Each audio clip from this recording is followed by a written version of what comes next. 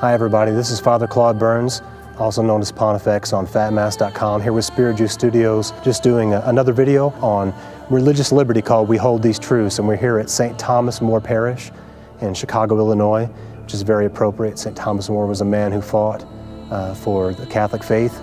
And so we're here basically because there's so many things being thrown out there, uh, so many uh, convoluted things being said, a lot of percentages being thrown around, and some of it kind of detracts from the true issue.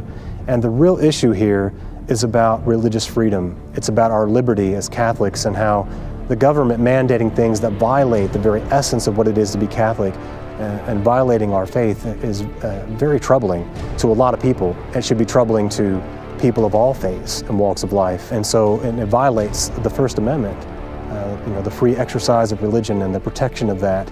And so we really had to take time to do this video to really succinctly put the issues that the government uh, doesn't have a right to violate the conscience, the very corporate conscience of the Catholic faith.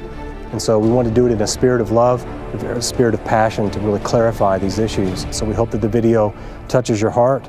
We hope that it inspires you and hopes that it, clarifies some things. Again, all Americans should be concerned about this.